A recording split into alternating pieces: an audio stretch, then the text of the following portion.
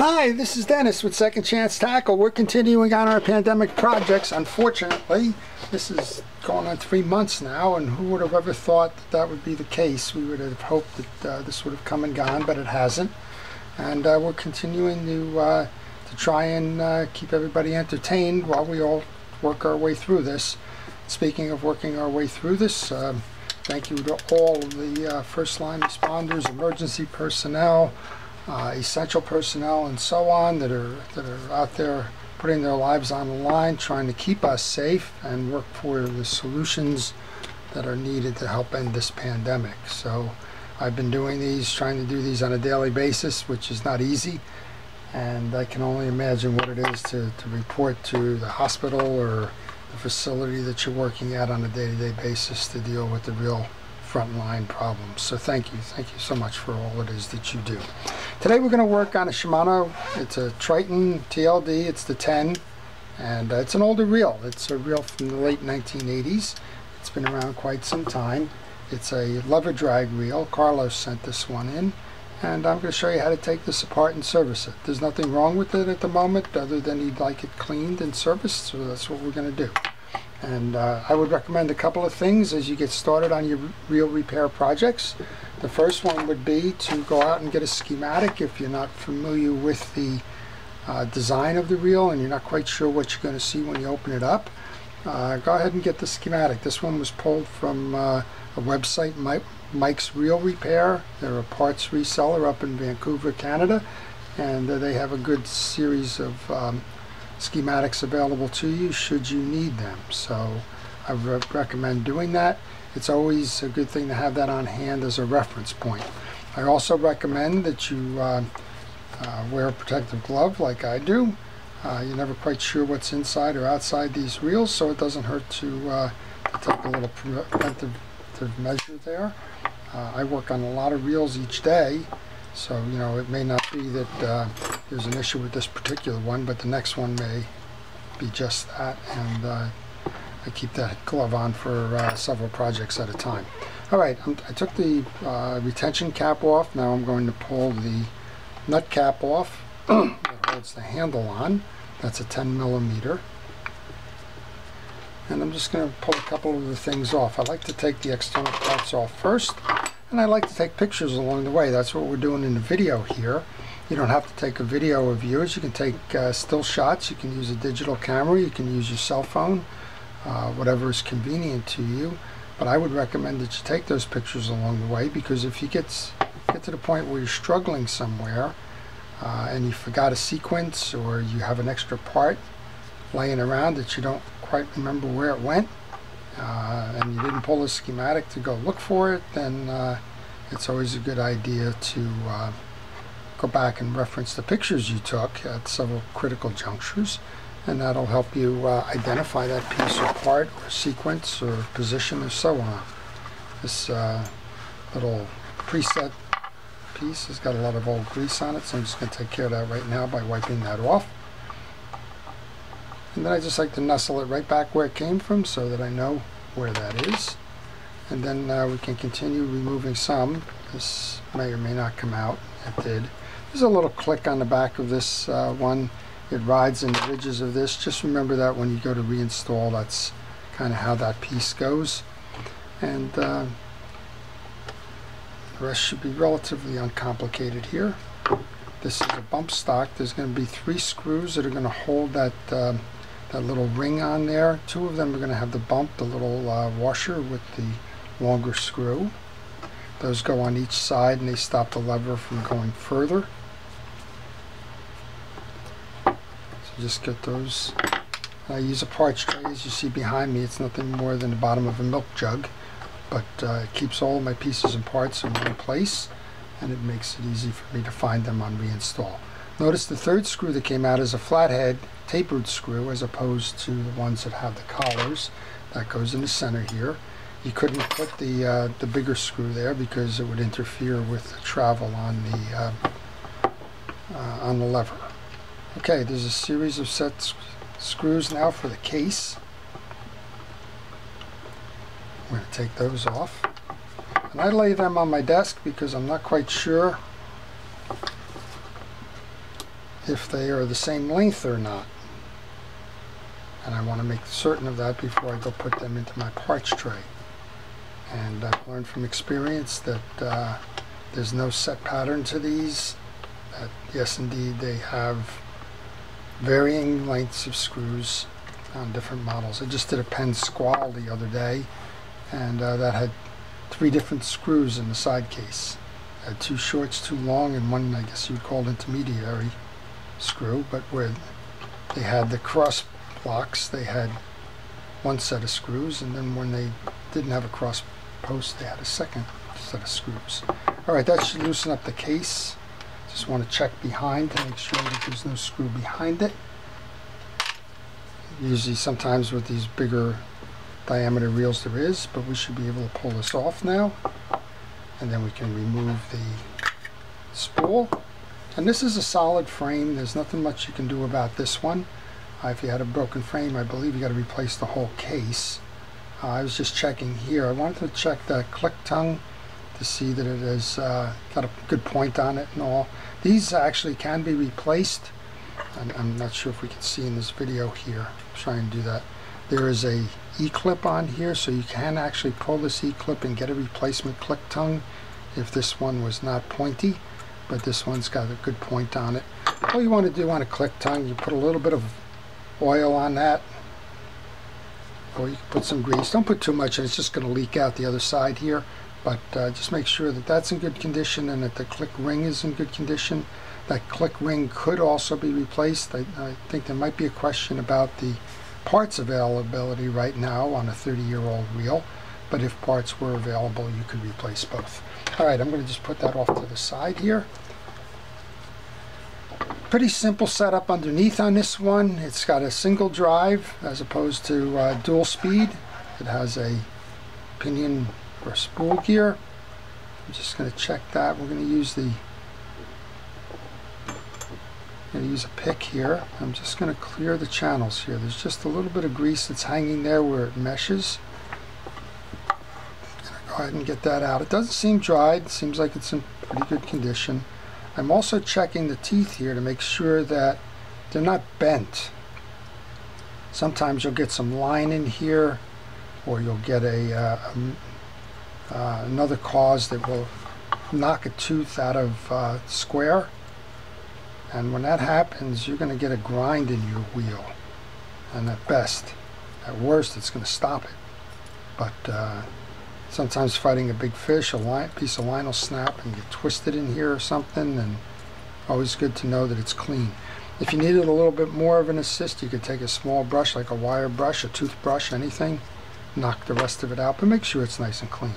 Also, I noted that uh, it's not, it's, it's kind of hard to do on this one, but this has a smaller diameter than this one, and the small diameter is going to go in the bearing in the back here. So let's get that out of the way.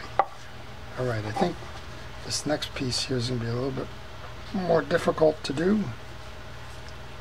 There's a collar that goes onto the main gear here. Let's see if I can push it through. I did. So the collar was able to come off. And then there's a little uh, spacer that goes inside that collar and all I did was I used my weight I just turned the reel upside down and just kind of used my weight to press I don't recommend taking a hammer or anything to these. I've seen people do it. And uh, what I've seen happen unfortunately is that when they've hammered these things the threads here bent. So by all means uh, stay away from the hammers if possible. Alright we have a pretty dirty case here, so it's a good thing that Carlos had asked to be done. We have a spring that's attached here, which is good because I was looking for it as I saw this main gear come out.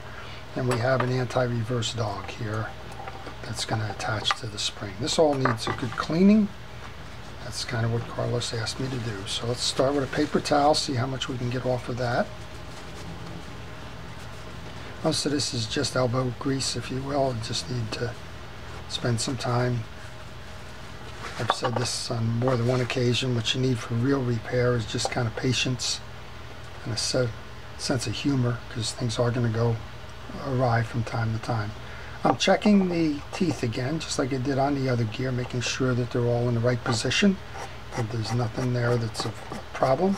I'm taking that brush and cleaning the, the teeth. They all look clean, but we're just going to make certain of that. Going to stand that just to one side. We'll come back and lube all of these as we go back to put these together.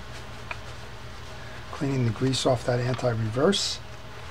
And then we just have a case here that's kind of got a lot of grease and the like in here. So let's just make sure we get, get that cleaned as well. I'm going to use a cotton swab for that. There's a bearing. I want to make sure that it's turning freely, which it is. Just work around the studs here. You could use a, uh, a mild degreaser like a WD-40 or something if you found that you had some stubborn grease stuck on here. This one seems to be in pretty good stead.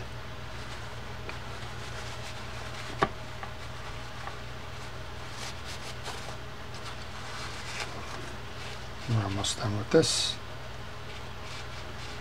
And that, uh, that bearing is packed with grease, so we may just go back and repack it with grease there. You have the option on bearings to, to grease or to oil. On most of the reels, spinning reels in particular, I'll use an oil because they're going to be subjected to a lot of uh, um, saltwater spray and the like, and that'll uh, contaminate the greases. But in this case, internal case grease is fine. We'll go ahead and put some on there. As I said, it looks like it's pretty packed to begin with here. Alright, we got a good layer of that in there. You want to check your orientation. I believe the dog is going to sit this way, but we're going to check.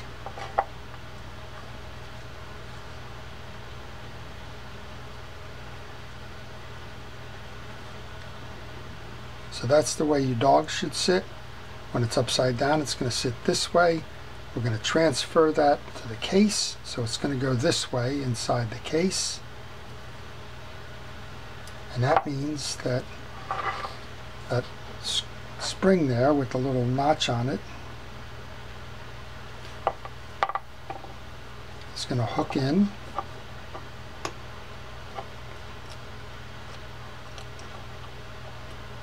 Springs are always fun.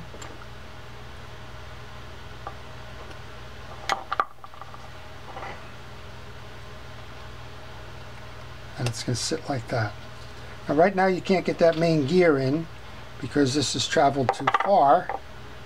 So what we're going to do is when we go to install the main gear, we're going to pull up on this bar here where you'll have some room to do that.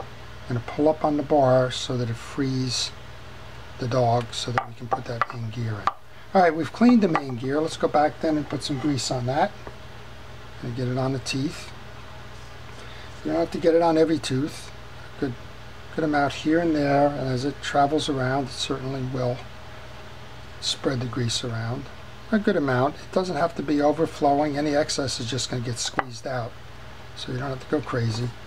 And we're going to put some grease onto the shaft. Then we can put the main gear in. And here's what we were talking about before. That main gear is not set because the dog is underneath it. So come over here with your pick. Pull down on that main gear. Or on the dog. And then push in on your main gear. And then we should have it where it's operational. There you go. We can take that cap then, get that cap back on.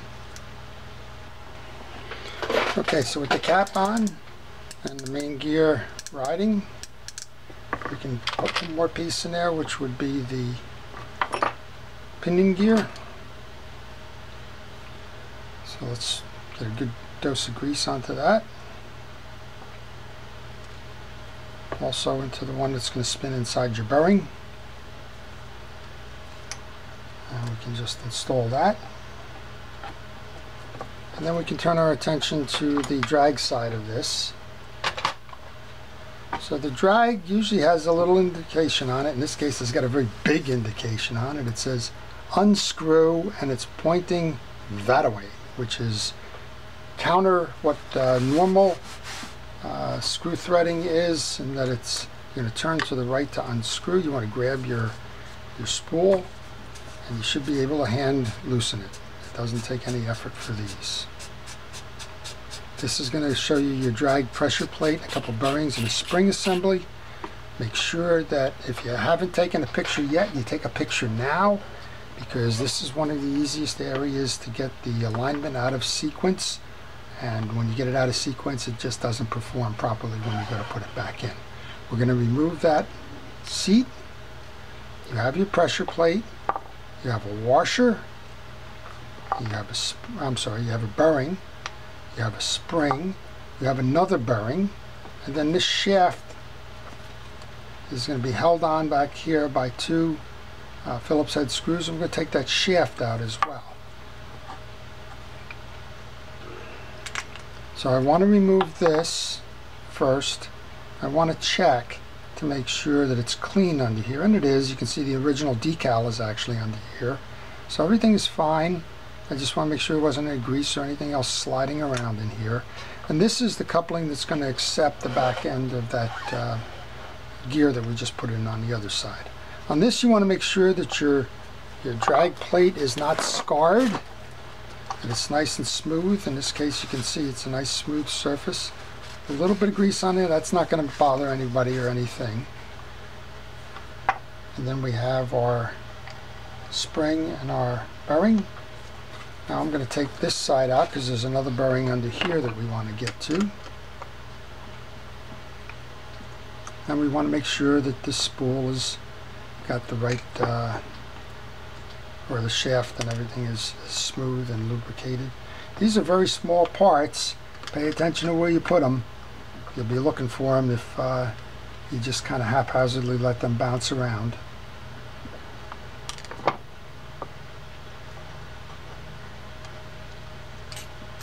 That'll remove this assembly now.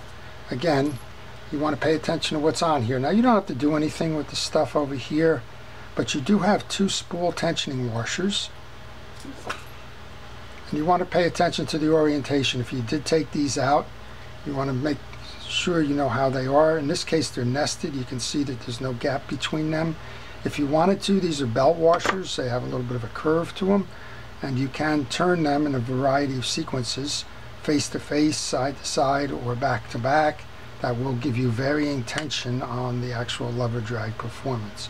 So just going to put this back together here and we're just going to leave that assembly whole since nothing needs to be done there.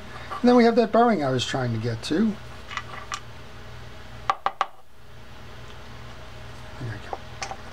We brought the bearing and the spacer out on this side. That's going to do the same on the other side here. And this bearing is, is dry, so we want to uh, do our best here to lubricate that. Again, we can use grease or we can use oil. This is internal to the spool, so it's not going to see a lot of uh, issues, so I'm going to put some grease onto this one.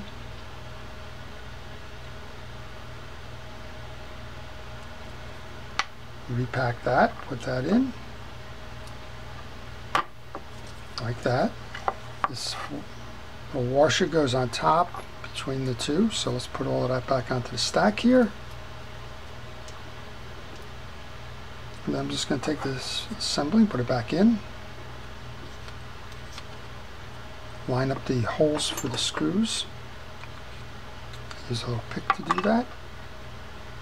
Let's see how lucky I get with these screws. That's a small screw. The tip of my screwdriver tends to, to hold that one. I think it's a number one screwdriver. Some people ask me from time to time what uh, what it is. I think it's a number one Phillips. But if you need to, go to micro screwdrivers. You can get relatively inexpensive sets at most uh, hardware stores. I have a uh, set here that I uh, purchased from um, uh, Harbor Freight. It's not the most uh, expensive set in the world. I think it was less than $10, but it kind of has the tips that you need. Okay, so once you have the axle in then, you have that bushing that came out, a small washer, and the bearing. And that kind of fell out when I was taking the screws out this way, and, and honestly, I don't know the orientation of it, so now's a good time to go to the schematic. This is the part of the assembly we're looking at here. It's uh, part number 74 and 36 and 35. Well, 74 says that's the bushing, And then 36 says that's the washer and then the ball bearing. So this is where a, a, schematic is very helpful even if you've worked on the reels a long time and, maybe want to trust your memory on it. So the bushing goes in first, then the thrust washer goes, and then the bearing goes. And we want to oil that bearing. We can place that in there. And we want to make sure it seats into that indentation. Your um, your drag washer is in good condition. The cross hatching is still on there. There's no significant wear of any kind.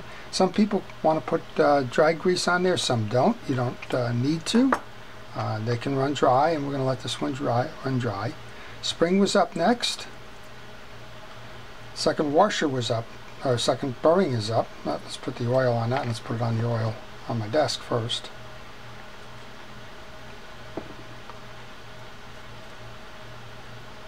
Slip that over the shaft. And we have our pressure plate. It's, it's been cleaned and dried. It's nice and shiny. There's no uh, ruts or anything in this one, so this is in good condition.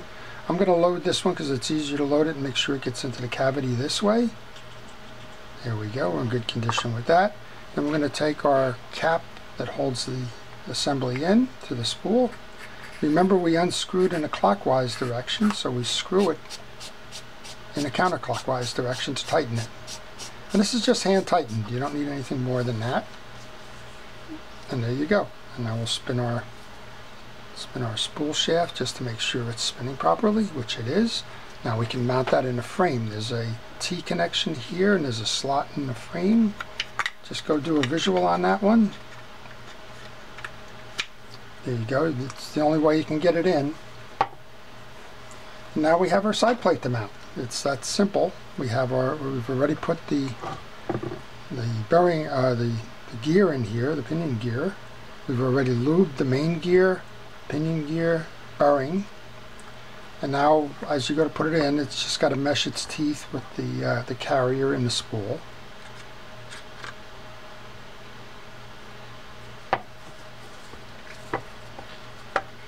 And generally, if you turn the spool, you can get it to mesh.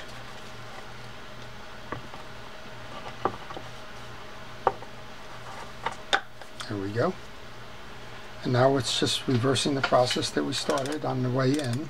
And that is to take our case screws, which we have in the parts tray here. There's five of them. They're all the same size, so it doesn't matter which side they go in. And even though I took these out kind of in a circular motion, I'm not going to put them, I'm not going to tighten them up that way. I'm going to tighten them up going uh, cross cross reel. I normally say northeast southwest, but in this case I got five screws, so there's a different pole in there. So let's just take it as the stars on a or the points on a star we all learned how to draw in kindergarten. We're just going to go opposites, kind of go up, down, side to side, cross back over kind of thing. And I'm, I'm just snugging them. I'm not tightening any of them until uh, I get them all down to the point where they're all snug. I want to keep equal tension on the case. I don't want the case binding in any way. And it can do that if you over tighten one side before you're done with the others. Now I'm going to come back and give that last little quarter of a turn there just to make sure that it stays tight.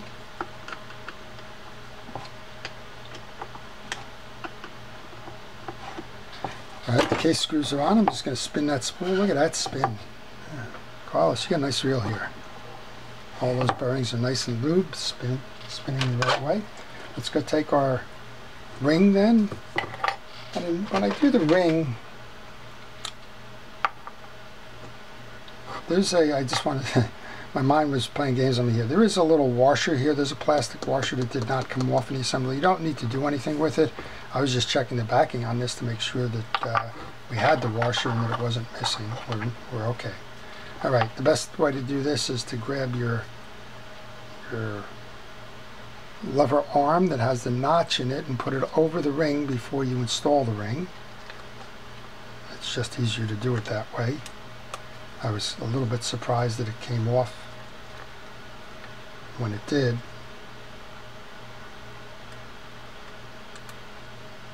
And then you need to align the holes in your trim ring to accommodate your release and your stop. We had the two screws that have the collars on them. They go on each side and again if you got confused and tried to remember where one went or the other just go back to the pictures you took. Of course you're watching my video now so just go back to the video, rewind it and uh, see where they came out if I wasn't descriptive enough. Now we're doing on this side. Then we have one more which is the flat screw.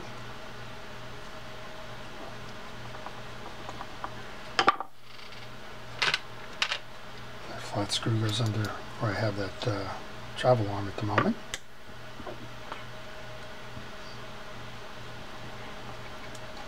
Then what I like to do is I'm setting the pre preset, I like to come over to the neutral position. There's little pyramids that ride on this uh, preset arm. I like to get those into the grooves. And this is always a, a little matter of trial and error in terms of, of setting this. But if we do it right, if you put it into the grooves and then you move it over here to the neutral position, generally you got a good start in terms of how to how to set this. So if you're if you're running this way, your spool's turning, your axle isn't, and then you move it up the chain and your axle is, then you know you've got the lever pretty much set properly. There'll be some fine tuning going on here. You might want to tighten this down to the point where you've got it moving there. Come over to the neutral position and you're fine. So, all right, then all, all that's left then is the handle. The handle cap, nut cap. That's a 10 millimeter.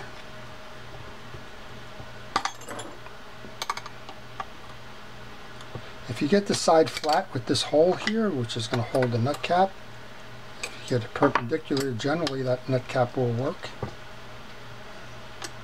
It looks like I'm pretty close. And you can get your nut cap on. I'm very close. Put that screw in.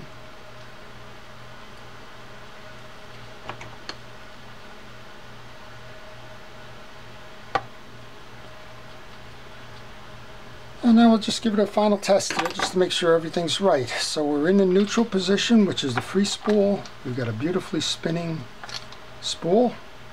As we go to first strike position, we should start to see our, our handle turning, but it's not a lot of tension on it. When we go to full strike, you should lock down your your spool and not be able to turn it by putting pressure on the side. So that's a good starting adjustment there. And uh, Carlos can tune that to whatever his, his, specifications are after that. But overall, this is a nice reel. It's an older reel, as we mentioned. It started production in 1987. I think they're still making them today to some de degree. And uh, this one's got all the ball bearings doing the right things. It's got gears with good teeth. And uh, this one's ready to go fishing. So I hope you've enjoyed that. If you did, please like it. If you want to see more of these, please subscribe. If you have a reel that you're uh, afraid to work on or just not interested in working on, but it needs to be tuned up, well, please contact me through my email. I do provide uh, reel repair services by mail, and uh, the email follows on the business card at the end of this video, so please contact me that way.